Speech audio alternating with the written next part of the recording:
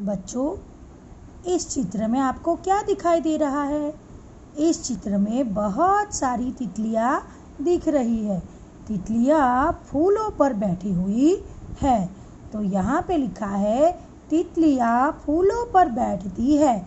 तो बच्चों, आज हम तितलियों का त, यानी त से तितलियाँ, त शब्द को सीखने वाले हैं।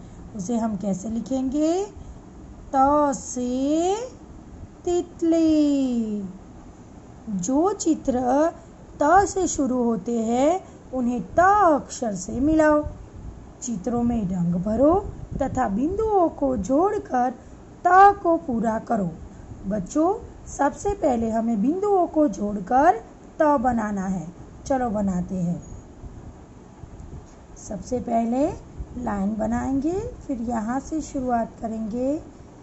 त से तितली, त से तकिया, त से तारे, त से तबला, त से तारे, त से तितली और त से तकिया।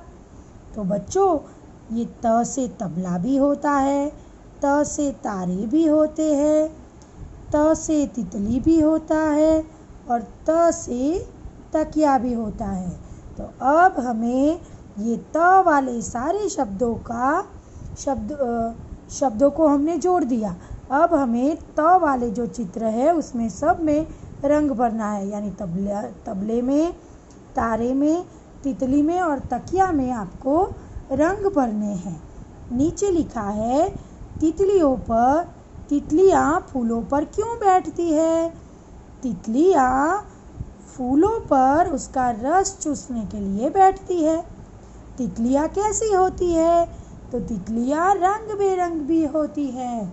यहाँ चित्र में हमें दिखाई दे रही है, कितनी रंग बेरंगी तितलियाँ होती है। वो फूलों पर बैठकर उसका रस पीती है।